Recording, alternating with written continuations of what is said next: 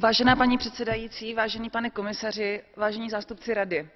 Jako členka výboru pro zaměstnanost a sociální věci mám k tématu zaměstnanosti mladých velmi blízko a považuji zlepšení situace v této oblasti za klíčovou prioritu své práce.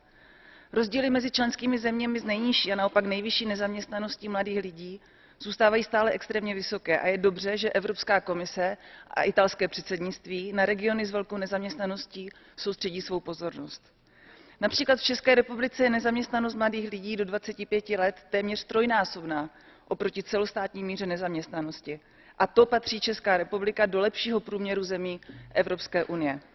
Při řešení problému nesmíme opomenout dvě věci. Za prvé je to potenciál evropské pracovní mobility, který zůstává podle mého názoru nevyužit. Pracovní sílu Evropské unie tvoří asi 216 milionů osob, ale jen 7,5 milionů z nich pracuje v rámci Evropské unie v zahraničí.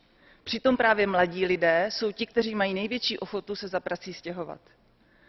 Druhý problém řešení je to, že evropské podniky jsou nuceny si zajistit kvalifikované síly napřímo náborem ve školách a rekvalifikací vlastními silami a na vlastní náklady, neboť se nemohou opřít o fungující systém.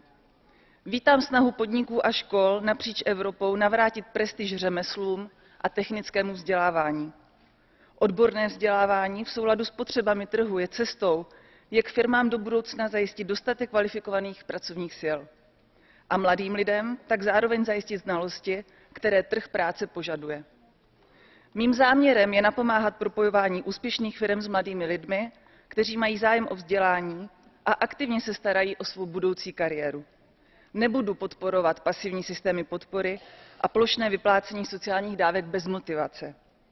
Nejenže neřeší systematicky problém nezaměstnanosti, ale jednotlivcům ani společnosti nezajistí perspektivu kvalitního a plného života. Děkuji za pozornost.